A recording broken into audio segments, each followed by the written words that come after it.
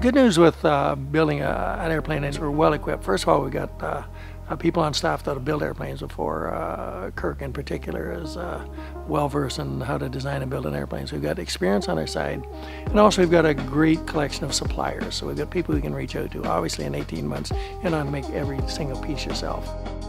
The other advantage we've taken uh, for the technical demonstrator is we're using as much off-the-shelf stuff as we can. For instance, we're not designing our own motors, we're using an off-the-shelf motor.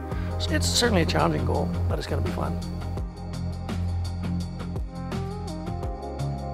So we're equipped to, to build our hybrid eVTOL full scale with uh, the team that we've got and the technologies we've already developed. So our half-scale demonstrator has proved a lot of our existing technologies which we're scaling up. We have a number of rigs that we're working our way through.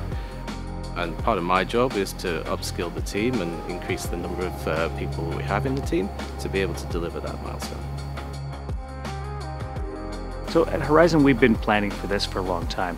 Um, since kicking off, we added to our team significantly, our engineering team. So we've got the resources in place. We still have a couple openings that we're looking for key people.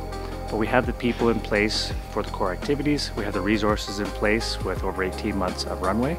And what we're building up now is the supply chain. So you've seen a couple announcements recently. There's some more coming in the near future about some key strategic suppliers as we look to the best in the world to deliver on this promise.